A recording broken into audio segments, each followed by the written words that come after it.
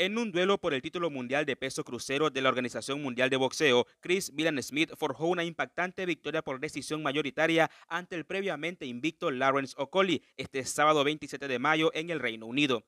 Durante los dos primeros asaltos del combate, Okoli tomó la iniciativa y se mostró agresivo, llegando incluso a doblar las piernas de Chris con uno de sus golpes. En el tercero hubo muy poca actividad, pero en el cuarto, William Smith se hizo notar más seguro entre las cuerdas y con un fuerte izquierdazo le propinó a Okoli el primer derribo de su carrera. Chris intentó rematarlo, pero Okoli resistió hasta el campanazo.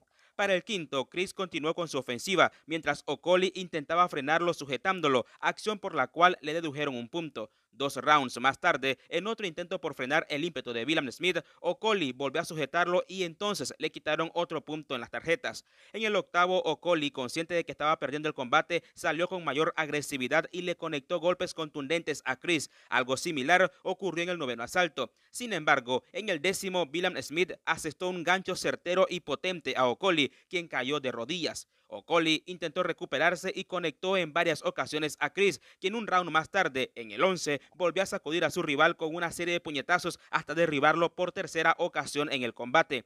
En el round 12, Okoli intentó desesperadamente cambiar el rumbo de la pelea, pero William Smith supo manejarse entre el ring y aguantar hasta el último campanazo.